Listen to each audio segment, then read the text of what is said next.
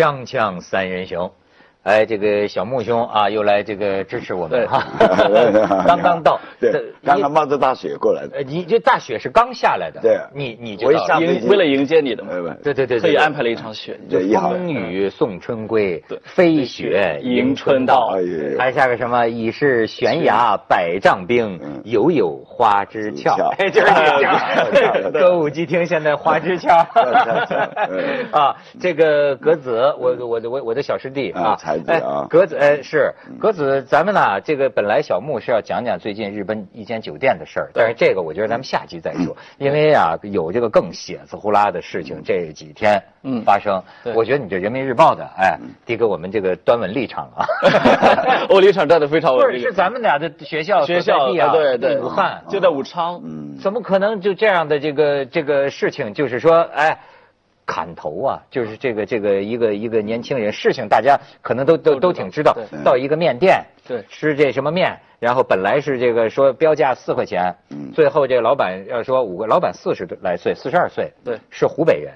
这个小孩呢，这个小伙子二十几岁，是四川，22 22二十二。是对。是四川人。那么那么小，二十二岁。对。对嗯。他就是说要五块，呃说为为为为什么多一块啊？嗯？他说我说几块就几块。嗯。然后呢，主要是这老板好像有点凶，对，抽了他俩嘴巴，还是怎么着的？哦就是，然后这小孩儿也不吭声，嗯不吭声的小孩儿你可不轻易招惹。现在 溜进厨房拿个菜刀嗯，把他剁的呀，啊，就哎呀众目睽睽之下，嗯生生就在街头啊。所以我看有的评论说说，实际上这是一起全民伤害事件。就他那个概念，就是说，等于是所有围观的人，你想生生菜刀剁下他的头，然后呢拿个什么呃塑料什么装一塑料袋里扔垃圾桶。扔垃圾桶，都没有人去制止的。谁敢？没敢但是人家就说，现在这呃老百姓呢还真有报警意识，嗯就是说至少好像有五十多个人看的同时在打幺幺零，嗯谁没没人敢？他拿着凶器，嗯所以就这件事儿，嗯很多有分析，就是说他呢是二级残疾，呃，精神精神病。呃就是呃进过精神病院，说是什么以前好像还打过他爸对，在工地上也天天跟人打架，啊、这么一个人。那格子，你觉得这事儿是非怎么断？呃，我觉得有精神病之后，我们就很难再去聊这个事情了，因为这个是个很专业的一个领域。但是，呃，我我们俩都是武汉这个这个算是成长起来的嘛，因为对我来说，武汉是一个第二故乡啊，所以我可以理解这个事情怎么发生的。你看，我一去武汉之后学的第一句话就是骂人的，个班嘛，个班嘛，在北京话里面就是类似于你丫的。啊类似这个意思。但是呃武汉人是开口就骂的。我对武汉，我后来相处久了之后，发现武汉人其实还是很爽朗，呃地方性格也不错。但是这个九省通衢，大家它特别热，然后这个湿气也很大，所以人特别着急，性子特别的烈。哎，所以看所来以所以开口就骂，我是能够能够想得到的。那就说明呢，看来呢，呃，我是多少年前了？就看来，直到你上大学的时候，还是这样还是这样的。嗯你知道，我那个时候其实可能也在慢慢变得文明一些，我想。但是你知道，我那个时候比可能比你那个时候更加火爆。就是我毫不夸张的说，我当时在武汉读书四年啊，嗯，每一次就能到这样，每一次公共汽车，每一次我坐公共汽车，都有吵架和打架，至少一次。而且你开车那司机，人家也说武汉的司机啊，说不会开飞机的船长不是好公交司机。呃，夏天武汉热，可能就人比较暴。而且就有的时候啊，这女的比男的还厉害，你知道，而且而且有的时候这个武汉人吵起架来啊，他最后变成一种围观下的炫耀，对就是两个男的女，你看我就看见一个，就是说，这个这个有个有个男的踩了。一个女女人的脚在公共汽车上挤嘛，踩一下，这女的张口就来一句：“哥爸妈三条腿都站不稳。”对吧？三条腿，这男的更绝，来你三只眼睛都看不清我。哎呀，全车就能把大家，就本来是打架的都乐了，都到这种程度了。我见过好多回女的打男的，而且人家说这个武汉女生嘛，说普通话的时候特别的温顺，一说武汉话那就是老子老子都是这种。是是是，其实他离武汉也不远，他湖南人脾气霸蛮，楚人都这样。楚楚人呃才呃呃才才饮长沙水，又是武昌鱼嘛，对很近嘛，哎哎哎对吧？嗯哎，当然咱不能用这个去理解这件事儿，嗯这是极端只是说他的影子是这样的，你觉得是吗？他的影子就是脾气暴。我觉得，而且在火车站这个地方，我我你我们是经常被激怒的。呃，只是说因为我们是有理智，而且呢，我们大部分人呢不可能说拿刀砍死，而且砍头。但是这个事情的这个起因我们必须要搞清楚，就是这个脾气暴是开端。你像还有一个很典型的东北话，就是路上看你一眼，你瞅啥？我瞅你咋的？就这一句话又开始了。我们很多这种特别暴力的事件，源于特别小的这种习惯。哎，对，他说的是两方面。嗯，一个方面呢是，你知道我年轻的时候就还经历过那个时候严打。嗯，今天看好多呃冤案呢，就不该判死刑的都给枪毙了，是因为那个时候的那个严打。但是我记得当时严打的时候的社会气氛也确实已经到了呀。你比如在西安，真的就像你说的，你你看谁一眼，那个街上那个小流氓在那看着，那你干嘛看我？啊？上去就是一砖头啊！就是你看他看他一眼就打起来，就打。小木这个这这个道上出身的，你对这个很熟了。日本流氓也是这样的，就是你不能随便去看的，你要看的，但是他不会随便打人，但他会那么就是就会给你很害怕一种感觉。你像刚才你讲这个二十二岁砍人家头对吧？嗯，在日本就去年二月呃七月份。夏天啊，也是二十六岁一个男孩，一个一个男生，大学刚刚毕业几年，砍了四十五个人，一个小时之内砍了四十五个人，十九个人死亡，二十个重伤，六个轻伤。我的你看厉害不？而且他这这家伙很厉害啊！我我我今天呃这个呃坐坐飞机来之前，在机场在在咱的机场啊看到《朝日新闻》头版。本来鉴定他们，嗯，去年七月份的事情，到今天开始宣布，到昨天宣布，要正式起诉他，以为他有神经病，结果一鉴定他没有，只是性格，性格有毛病，鉴定是性格有毛病，就是就是他这种脾气性格。他那他是要负刑事责任。对，就是可以起诉他。他拿他拿什么武器？他是他是很简单一个故事，他是在一个福利院里面，就是残疾人福利院，他工作了几年。他一直在他自己的网络上，他就表达这些残疾人是对这个社会没有用的。哎呦，这是这是日本人的那种极端的那种。对，他说为了我们日本国家，他在去年的二月份给众议院的院长寄了一封信，就是要我要代表日本人民去做点什么事情，已经提示了。这众议院的院长呢，拿着这个信还给了他当地的神奈川的警察所。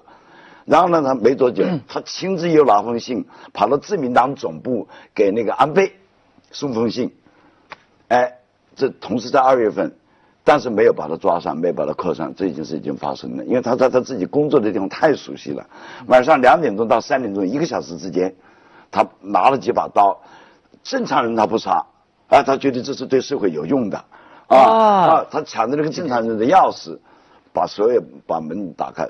一个就一个小时，然后砍完以后，他自己去自首，自己到就他砍的都是残残残疾人，就死了十九个人，那真的很。他这个让我想起来，呃，在现代这个文明社会，在当代这个文明社会，什么人砍砍人头呢？我只能想起来那个 IS，就那伊斯兰国。然后伊斯兰国那个创始人叫扎卡维，现在那个第一百届普利策奖有一本书，那个获奖的书叫做《黑旗》（Black Flags）。啊，哎，黑旗，对，黑旗写的非常好。它里面就讲到说，扎卡维呃最早开始砍人头是二零零四年，杀了一个美国人叫尼克伯格，他呢就是幸亏不是扎克伯格，尼克伯格 对，要不然没法社交。对，然后就是五个人站在房间里面，然后这个呃呃虽然蒙着面，但都知道是扎卡维，然后呢就开始发表一大段演讲，说什么晨曦出露，等我们的时刻终于到来，然后就。一刀把那个尼克伯格给给给砍了，然后呢，把他那个头给锯下来，那个镜头都晃动了。哎呦！然后扎卡维用这个行动向世界宣示了他是比本拉登更勇敢的这个圣战分子，然后一举获得了一个称号，叫做“屠场主人”。所以你看，就是咱先撇开这个神经病的说啊。这个砍头、斩头这种行动，实际上是增加了一个一个一个一个烈度。就是你看，当年这个有个有呃有一个字，有一个字，大家可以讲，左边一个头的这个手，嗯，右边一个或者的那个或，嗯，这个字啊，就是过去为什么说秦六秦秦国秦国最后统一了这个天下呀？就是秦国的军队叫虎狼之师。对，为什么最厉害？因为当时打仗是有规矩的。比如说过去咱们讲是个宋襄公，实际是个贵族的规矩，就是说敌人渡河还没渡到渡过一半儿我怎么能打呢？对吧？嗯对我得等他渡过了河，摆好了阵势，咱再打，一打他输了。所以就是说，那那是有规矩的。但是到后来就是那个时候战场上啊，就是表示你的战功。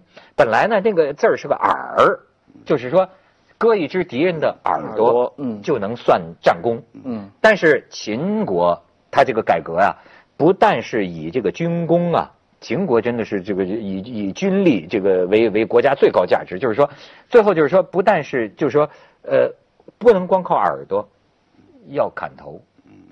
手你明白吗？这一下为什么就望风披靡啊？很多其他国家军队就碰见这个秦国的军队，就是因为古人说，我打仗输了，你把我打拿杀死，你割我个耳朵，我还有个全尸啊。对，我回回回家回祖坟，我还有个全尸对，但是脑袋没了，连个全尸无主游魂，所以那个时候就秦军的这个恐怖啊，跟他这个就跟砍头有有有关系他。是直接向你宣示他的权威的，向你宣示他的权利的。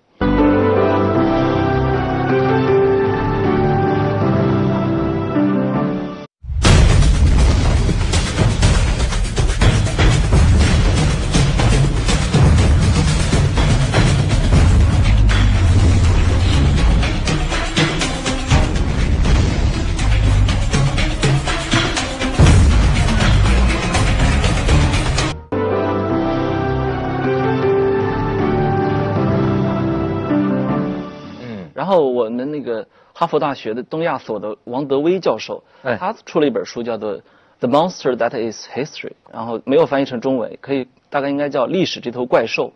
他就发现，研究发现，二十世纪的中国书面文化中大量充斥着杀头、吃人，然后就是这种对这种文化的一种病态迷恋，就是似乎是一种永无止境的暴力，成为我们民族文化中一种通行的因素。对在啊这个日本的这个漫画的动漫里面，很多也是受了中国的这些文化的影响。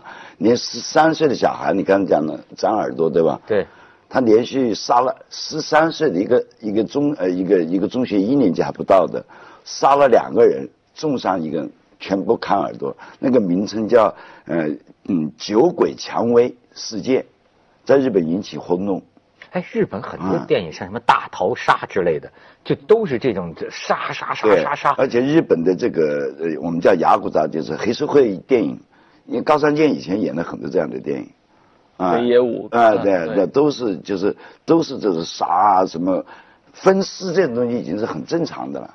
那我我到了日本的八八年去日本的时候，那我就知道那些黑社会在分尸，女的女的也杀这个七十岁的老太太，甚至在中学生的时候，他就想杀自己的同学，就只早两天的事情。不，他他他为什么呢？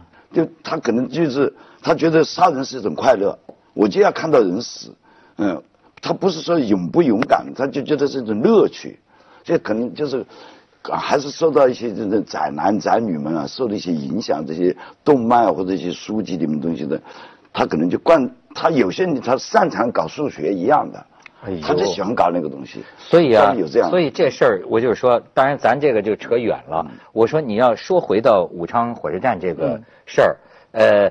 呃，你持有这个残疾人证啊，精神残疾啊，呃，并不还得要等司法鉴定啊对他有可能也会负责任的。就是说，你如果是司法鉴定，确实是有行为能力，就作案的当时有行为能力，他还是要负责的。对，但是就说这个，你假设咱就假设说他当时是清醒的状态，或者说是属于能对自己行为负责任的状态，咱们假设这种情况的话，那你说格子他当时心里发生了什么呢？这这就是呃，这个我我是这么想的，他即使是有精神疾病，他的这种行为也是有来源的。我我们这一代人，包括比我小的人，实际上我们的出生成长是在一种虚拟和现实交织的这样一种状态下成长大的。这个我必须得承认，我们在互联网中泡的时间可不比在现实生活中泡的时间短。对那我们有可能是在网络游戏中长大的，我们有可能是在网络中，你不知道，有可能是呃看那种日本的一些动漫啊，或者是电影，可能是在这种环境中长大的。也就是说，本身我们的人格认知中，可能对于虚拟与现实之间的界限是分的相对模糊的。呃，我们家乡曾经，我我这两年老回家，就发现说有一些暴力的少少年暴力事件，呃，那个严严重程度是超出以前所有人的预计的。就有个什么呢？他就四个小孩儿在轿车里面停着，然后别人骑着电动车从边上过，开车门啪，把他从电动车上打下来。打下来之后，人家人家下来，人家问说你你打我干嘛呀？然后说你再说一句，嗯，这这些都是后来口供的，但是监控录下来的是什么呢？然后下来之后，那人开始跪地求饶，一直用赤手空拳打死，活活打死。呃这个呢，然然后你再联想到这两年，我们不断的看到说有从网吧里出来就直接砍人的，就是看他之前玩的那种射击类的或者凶杀类的游戏啊，就是，呃，这让我又想起来一个东西，就是我最近在看那个吴晓波写的《腾讯传》。啊，《腾讯传》里面就提到一点，说腾讯第一笔开始真正的独立盈利是怎么时候呢？QQ 秀，QQ 秀是说，就比如马化腾本人吧，一个文一个文弱出出生的形象，对吧？可是马化腾的 QQ 秀是什么呢？长头发、牛仔裤，这是他生活中从来没有过的形象。一个人，一个人，实际上你心中是住着另外一个小公举的，你是住着另外一个人的，所以这种凶杀，这种对于暴力的极致的追求，有可能在他心里深深藏已久。其实啊，他是就是说，呃，人的心里啊，你要说是呃藏着一个什么 QQ 秀啊，未必是藏着一个那个穿牛仔裤的马化腾，对。有可能是藏着一个野兽一样。哎对。就是我我我有时候觉得我自己心里就有，你在看什么事儿上，比如说，要是有人欺负了我的亲人，嗯，呃，或或者比如说你欺负我的孩子，对吧？嗯，我跟你说，我的那种感觉不是说我打死你而已，我想把你剁成肉酱，就是你你自己能够感觉到心里的那种、嗯那种怒火，对就是所以你知道人心里啊，他有这次你看小木，所以我就想问问你在这个江湖上走得多。其实小木我就觉得情商极高，嗯就是他这个为人处事啊，全是成功，都在这个待人。因为为什么我讲这个啊？就这次这个，就说咱这老板这个，嗯，你真是不知深浅。就有些人，你说你暴脾气，这事儿你坐地还钱，一会儿呃欺负人家外地人，对吧？嗯。当然，你这个惨案是绝对不能够有任何原谅的，对吧？但是呢，就说这个提醒，这对我们自己的警惕啊，嗯就有一些为什么就是说，哎，见人三分笑，没错。中国人讲和为贵。对我，你就包括我现在岁数大点儿我才明白，我过去我也是脸冷啊，我的脸比较冷，你知道吗？所以见人觉得不太好接近。后来我的一些比较成功的朋友就跟我讲，呃，就是你一定要记住和气生财。抬手不打笑脸人嘛。对，嗯和气，嗯就在你心里再怎么着，就是说，哎，你因为你不知道对方对是什么，嗯你装装也得要装得下的，尽管有时候不愿意接受，像跟流氓打交道的时候，其实很讨厌他们，又要问你要钱，又要这那的，然后还收了别人的钱，还用别人来整你，想跟你多多收一些钱，都有这种。但是你要装的，有时候也就是装糊涂，就是要学会忍耐。你平常嗯就碰到的那有暴力倾向的人也不少了，应该对在你这个奋斗史上，对，那就经历过绑架。你看人家都想要我的命，他不仅想要我的钱，如果你真不给钱，他就会要你的命的。那刀子架在你脖子上的。呃，你像我，就是我现在的太太，当年是我女朋友，刀子架在她脖子上，我推门进去的时已经架在她脖子上了，嘴巴、眼睛全是用胶带给闷住，手全绑着。我刚刚一开门进来，一把刀捅到我这里来，顶着。顶着啊，顶着啊，不要动啊，然后马上我就被蒙住了。蒙住以后，你就只能老老实实报你的那个呃那个银行卡的密码。就这种东西，那个时候你得装。你那个时候你觉得你得怎么跟他们对啊，这个沟沟我跟他们？沟通。我想了一个什么办法？夏天，我撒了一泡尿在自己身上，因为他他不知道开空调，我们有个有有个有个有有个有个有有个空调是一个一个一个小机械，他没找到，所以那个房子里他必须关着门，他关着窗，他怕声音传到外面。怕被人家报警嘛，搞了三搞了搞了三四个小时，我撒了泡尿在身上就很臭嘛，肯定。我正好也忍不住，我就让他放，因为我没有办法讲话，我就要动嘛。他就哎，你你怎么？我说他他把我怎么？我说我有心脏病，其实我没有。那桌上摆了我的胃药在桌上，我说你把那药给我，我说你是要钱，你你把我命搞死了，你就要不到了。哎，他们想也是，他也不想要我的命，哎，就把把药给我吃了，啊我就嘴巴打开了吧，我说再给我抽根烟，我就开始编故事。我说早上六点钟，我们的我的部下要来，这这还是智对吧人，智人对吧？故事的能力你要你要编故事，对吧？然后他从我钱包里发现我有警察的这那个名片，那，他就知道把这个人搞死，搞坏他妈的，算了，来到了时间差不多，再加几根领带，两两三根领带夹着我，四四年以后这个领带警察就去年才退给我，哎，跑掉了。哎，小木，这种东西你要去对应它。对啊我我我我问你，我觉得你在这方面比较有经验。你比如说，你平常在日本的歌舞伎厅，黑白两道，嗯你是怎么跟他们能够搞好关系，或者在发生冲突的时候，其实，在这有什么技巧吗？其实，在中国受过文化大革命的训练的人啊，人与人斗这种经验的。我爸爸是造反派头目，是吧？受过受过训练的这种，你到了歌舞伎厅其实不是一回事，这根本就不是一件很很难的事情。就是日本流氓还是讲规矩的，他不是一动，不是一开口一开始就跟你动手，他会把你请到咖啡店去跟你谈。所以你这个时候要能进也能退，是吧？你不老是不退也不行。哎，我听我听说了一个例子，不知道是真是假。嗯说这个有一个女的想让山口组去帮她解决一个人，做掉一个人，然后山口组，那你能你让我解决我就解决，就没答应他。结果这女的呢，就反复的去找山口组，最后山口组实在不胜其烦报了警。像这种事儿可能发生，可能发生什么呃，？这日本流氓也报警的。日本流氓跟中国人流氓打起来的时候，啊，他他就觉得报警，哎，啊，太多了。所以有时候日本流氓练不过中国刁民。对所以嗯 咱们先接下广告，锵锵三人行广告之后见。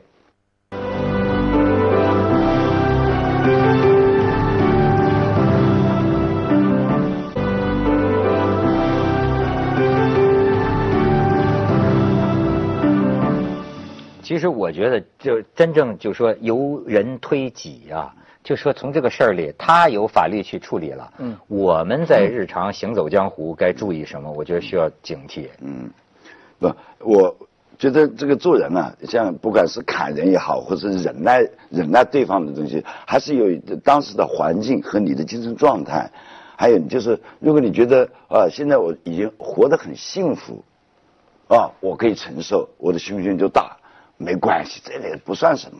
我都经历过死，这点事情算什么呢？那我不就多，我不就多一块钱，或者你多给我俩耳光，对吧？我不至于想清楚，我不至于去负法律责任去把你搞死。但如果有时候，特别是年轻血气方刚的时候，二十二岁嘛，我记得我二十二岁的时候，我们一家人十几个人在吃饭，我哥哥姐姐批评我，当我爸爸面，呃，妈妈批评我说我老找女朋友回家，这样那的，对他们不好，对我最好，我气得不过过年。中国的那个我湖南那个大园子盖那个，哗的全翻掉啊也会有这种时候。我发脾气。你说，你说我到了日本能不能那么忍？但是在家的时候，二十二岁就是不能忍。所以你知道这次我看有的评论，不知道这么说你觉得靠谱吗？有的人讲就说，当这个孩子拿起菜刀的时候，也许他想起来的是他这短暂的，也就就就前二十年啊，无数次的被人坑、被人骗、被人欺负，就是那意思是积怨的戾气。对，他应该没时间想。但是这个事儿还给我一个很大的一个触动，在于有无数的现场照片和视频流了出来。这个我作为一个媒体人，我是受不了这个的，因为我们受过比较严格的媒介伦理的训练，我们知道说媒体一开始发展的时候就是以血腥性作为主要卖点。这个东西后来为什么被抛弃了呢？因为实际上它是对人类的一种冒犯。嗯嗯，而而且这个冒犯不光是可能的冒犯，你知道我一开始看到这个事儿发生的时候，我以为是模仿 IS，就是为什么我会这么想？因为几年前有那个幼儿园杀童事件，对连环出现，我就觉得这个事情是可以模仿的。所以后来发现他是精神病之后，当然我不这么想了。但是我觉得我们的围观者好像跟鲁迅笔下的区别不大，就在于说你都在拿手机在拍。这个事情这么恶性的事件发生的时候，你竟然想得起来拿手机去拍，而且想得到说我要传上去，让大家多给我点点赞，多转播出去，这样一种心态是我无法理解的。在日本媒体也好，网络上是不准这些东西。我觉得自媒体必须我们也要严格的，就是这种东西对人类的道德底线的挑战，我觉得不能够让它这你。说的太对，就有些时候说好心办了坏事儿，其实后来发现也未必存什么好心。啊没错咱们节目就有个嘉宾就曾经说过，很多人呢。就是在视频上传，比如说打着爱护小动物的名义，对就是说你看这些人多么残忍，他可是他把这个视频，包括那个虐待女生、凌虐那个女生的，对，他是以好像觉得我伸张正义，但是他把这个整个折磨人、折磨动物的这个视频在朋友圈里传，其实这个我觉得是特别危险。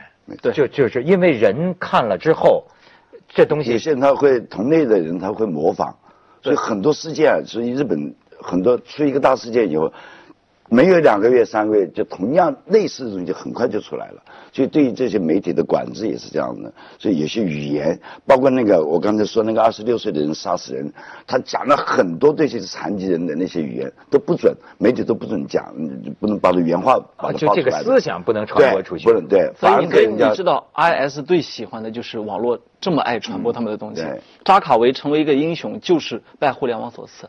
你不然你砍砍一个人头那个事情，呃自古以来就有这种事情。哎为什么就你成了英雄？对，你说的特别对，嗯就是我最近看一个什么，就是说啊，说其实这个恐怖行为啊，它的力量小得很呢。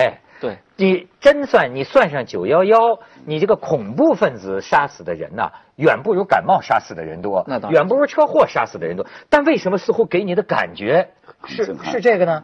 他就说这个就是让你这个人类啊过度反应，就他用他这个，比如说砍一个头一个视频，一下子就使得你这个整个人类啊，就像一个笨牛进了瓷器店，一个过度反应，滴里咣啷弹弹而且我们要开始的地铁、飞机场安检，呃，给了我们巨大的时间和金钱浪费，这就是恐怖的效果。哎，嗯就说这个事情的这个这个传播，所以我都不知道啊，这个斩头的这个视频都有人拍下来。